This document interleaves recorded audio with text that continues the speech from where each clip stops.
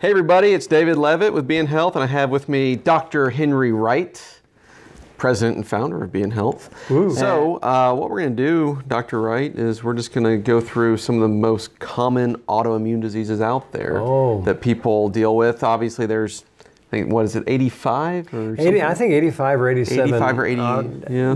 Different autoimmune disorders. Mm-hmm. And um, that's quite a few. It is, and obviously we won't have time to discuss every single one in detail. And you, you know what's really interesting? Behind all autoimmune diseases, when you get into the medical science, there's a statement that is made incurable. mm-hmm. I have to tell you, there is no such thing as incurable in the kingdom of God. Right. So we see many autoimmune disorders that have been totally healed by God. Well, let's start. Let's start out here with a very common autoimmune disease, and that is diabetes one. Tell us what's happening in the body, and what have you seen over the years that would be causing the immune system to respond in this way to attack um, that particular body part. Well, in, in all autoimmune disorders, something happens in the marrow in which something takes over the function of a white corpuscle, reprograms it, literally reprograms it to recognize the antigen marker. Everything in life, everything that's in your body has an antigen marker that the immune system is to recognize as a friend or a foe. And with the way God created us, things that are a foe, God created our immune system to recognize that as a invader mm-hmm. And destroy it. Literally go eat it until it's gone. So, so with this understanding, and uh, uh, we get into the immune system now recognizing that the uh, actually in diabetes one the the the, the um, pancreas which is su- supposed to uh, you know release the proper amount of insulin uh, doesn't now diabetes 1 and diabetes 2 there's a lot of confusion uh, diabetes 2 is a, not a, a disease at all but unfortunately, we've thrown everything in.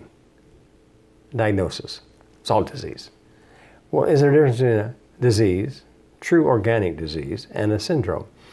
In the case of diabetes 1, it is a true disease because the immune system is attacking the pancreatic islets of the pancreas and actually eating and destroying the pancreatic islets that produce the insulin. So it's the pancreatic islets that have the antigen marker that these white corpuscles say, ah, bad, we go eat, and so you don't have the proper amount of insulin.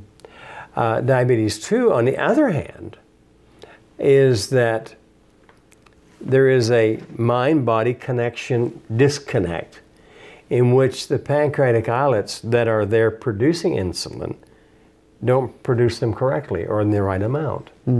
And so it's a syndrome where something is causing something. In diabetes 2, if what is triggering that uh, pancreas not to properly release insulin is dealt with, the pancreas is, is, is, is fine. The pancreas is not diseased, it's just not functioning. Something's interfering with its function. So, getting back to the question, in diabetes 1, of course, we have the body attacking the body. Now, in the allergies and the, in the autoimmune teaching that you're coming in the conference, and I don't want to give all that away, but I will say this that in all autoimmune, when we did the research, mm-hmm. and it was astounding to find this, that in all autoimmune diseases, I'm not going to use the word disorders, I'm going to use the word disease, organic destruction. Mm-hmm. There is the organic destruction to the pancreatic islets that produce insulin.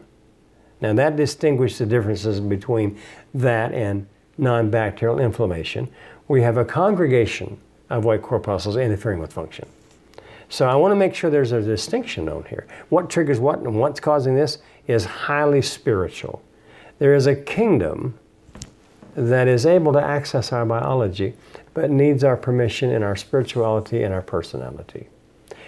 You know, we've known for years the subject of the mind body connection, but we've never understood spirit soul body connection. It's not mm-hmm. taught. Science doesn't teach it. In fact, science only believes what it can see. So it's never going to understand things that are able to give us thoughts that causes our body not to function correct. So in the understanding of autoimmune disorders, the body is the person is actually allergic to themselves, David. That's and rather than being mm. you say, well, I'm, I'm allergic. I'm allergic to you know uh, this. I'm allergic to that, and that could fall under you know traditional IgE mediated allergies. It could be psychogenic allergies. But in this case, the person is allergic to that is an incredible thought, isn't mm-hmm. it? Am I really allergic to myself?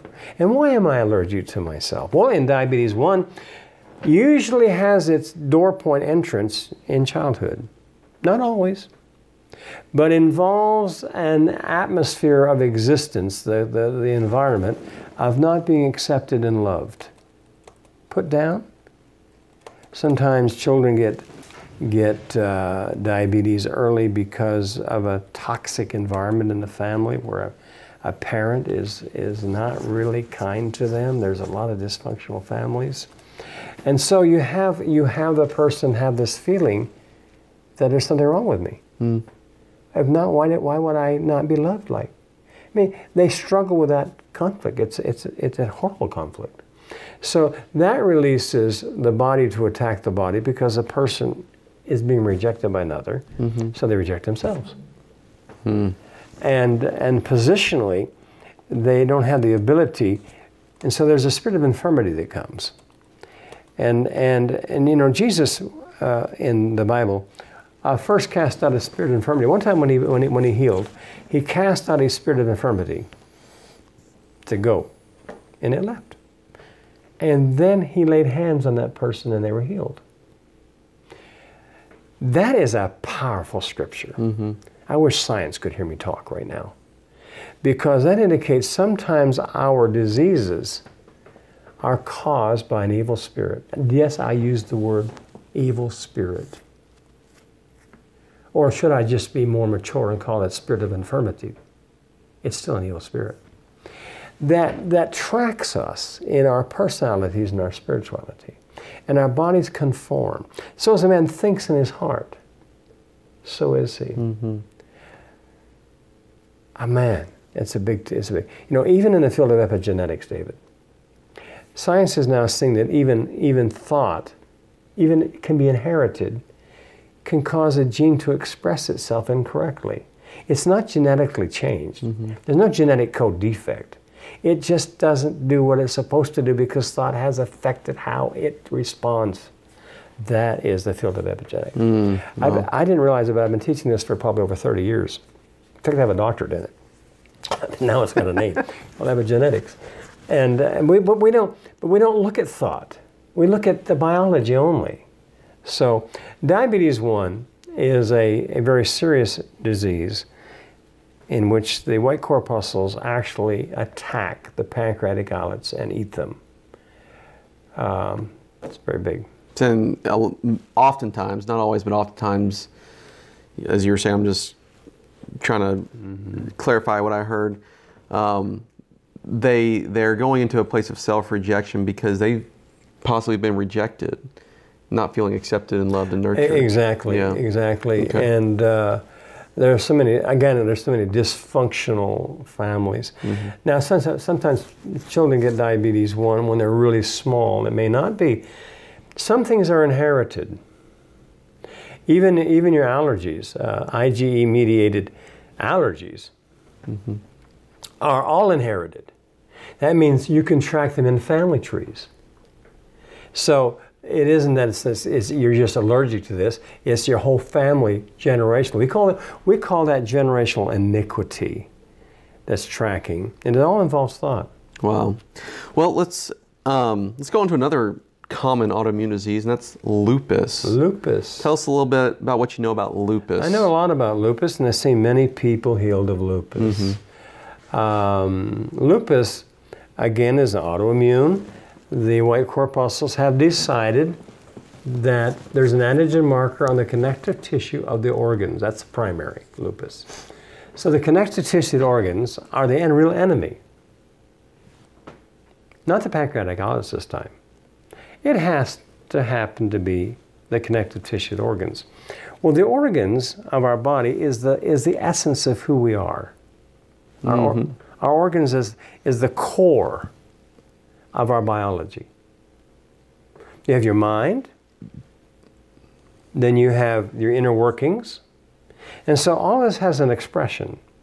So in this particular case, the inner workings, you, you know, have you ever ever uh, sometimes been afraid of or somebody or whatever, and you you, you, you felt inside something jump? Mm-hmm. Have you ever felt that? Oh yeah. hmm You, you felt something jump. It was like, oh, my heart's racing, or "Eh, I felt it jump. Well, that's how your organs are so easily affected by so many things. Uh, lupus happens to be an interesting door point because its primary trigger point is guilt. Um, I had um, I had uh, a lady years ago that had really extreme uh, lupus, but she also had multiple miscarriages for 10 years. Mm-hmm. 10 children, two sets of twins. What do you think? You think she had some guilt? And along with the profile, now, and this is a great testimony because the person was totally healed of lupus. And coming through that release of guilt from all that, the person became pregnant, had their first child, mm-hmm. coming out of our ministry. That's a powerful testimony. Mm-hmm. 10 miscarriages, Yeah. including two Oh, sets wow. of twins. Wow. And all that was dealt with when one issue was dealt with called guilt. Not only, not only was the womb released to have a child because it was happening in utero, the white corpuscles were doing two things. The white corpuscles were doing two things. They were doing the eating part, and they were doing the white corpuscle convention, where they gather, mm-hmm. producing inflammation. And so what was happening in, in, the, in the lupus, they were coming eating, eating the connective tissue organs, which is very mm-hmm. painful. But over here, what was happening and causing the miscarriages is that guilt was, was releasing autoimmune activity from the mother against the child, in which the white corpuscles are congregating on the umbilical cord, producing non bacterial inflammation, and the umbilical cord would, because of inflammation, would squeeze shut, and the child would be asphyxiated in utero, mm-hmm. second trimester. This was a tremendous learning curve for me because we got a, we got a healing of lupus and we got a release for having a child. Wow. Now, this opens up a big conversation, doesn't it? Mm-hmm. Guilt is a powerful. See, she, she had the foundation of guilt. I mean, the whole package is right here. And it was one thing to lose children, but then as she's personally being attacked, mm. it was all because of guilt. Wow. And so when she when she was released from the guilt, was able to forgive herself, understand the works of how you know the Bible says, "Be not ignorant of Satan's devices."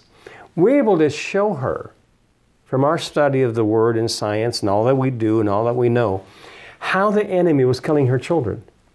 Show her right down to biology. Could show it right down to spirituality and personality. She got saved. She got converted. She got changed. She had a complete personality change. And out of that came more life, and out of that came a healing. Wow. That's awesome. I think it's awesome.